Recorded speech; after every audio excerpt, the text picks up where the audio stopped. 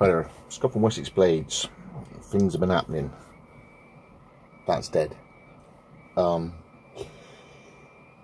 juggling the communication for a return ticket took me ages um, to try and arrange for a return or um, replacement. Still haven't heard back, so I'm off. Um, keeping busy with as many things as I possibly can, raising funds. What I'm going to be doing is I'm going to cleaning up this sheath here.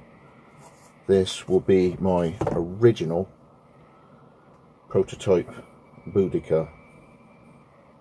Um, I'm letting go, raising funds, keeping thing, keeping the, the lights on, etc. It'll be 150 posted UK. So I'm just going to be dyeing it, uh, treating it, waxing it. Um, yeah, been a really troubling last week. Things going off, things happening. So I'm going to be letting this go. Uh, giving it a send off. Um, yeah, so couple of things on hold, obviously. Laser marking. Um, until I can get sorted again with a some form of communication back from the supplier I got it from. I was doing all the stuff for um, trying to, you know, work on lever, getting my readings sorted out. Did that one right, did another one, put another one bit, and it just went. So, pissed.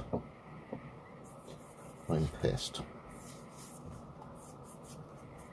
So, let's get this moved on.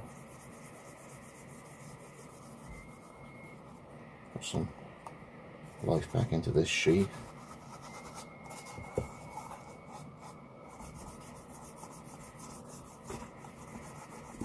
And let's uh, move this on with a new owner. Everybody's interested.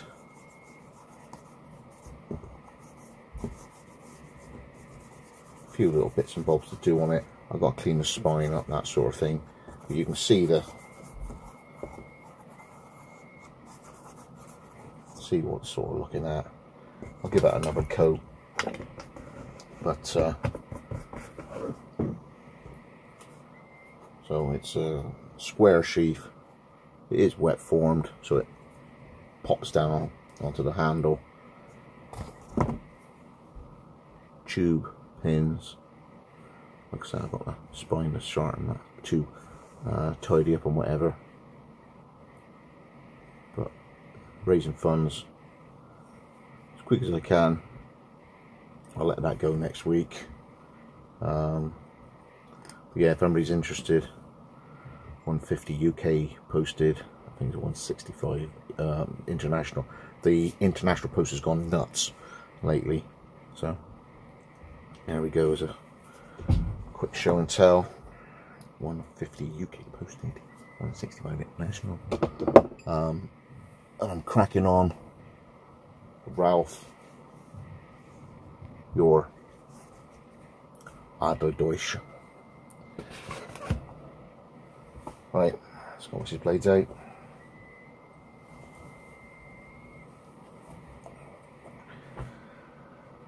Oh, Wessex blades, eh?